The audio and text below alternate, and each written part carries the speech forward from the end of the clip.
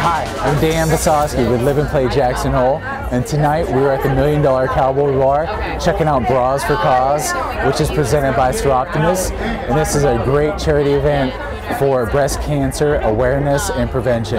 Enjoy.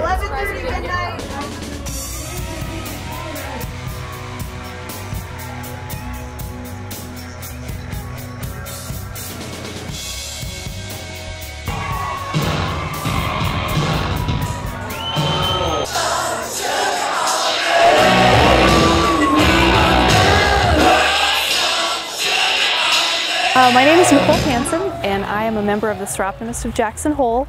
I am a board member and a past president and I'm the committee chair for Bras for a Cause this year.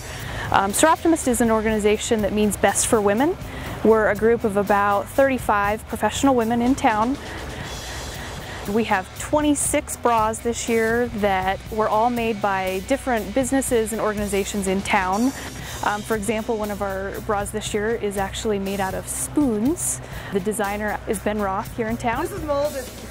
I've not participated in the Bras for the Cause before and they asked me to this year and I was really flattered. Said I'd be happy to. It's a great nonprofit. Most money is kept locally and uh, I like the concept too. I make art and I think it's a great way to raise funds. The auctioneer will start the auction. They usually start the bids at about $100 and then it goes up from there.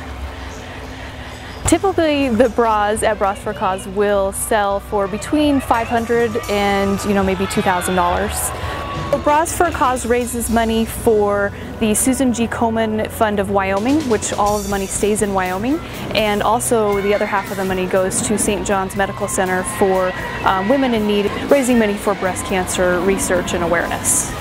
Thanks for joining us at Bras for a Cause, and we'll see you here next year.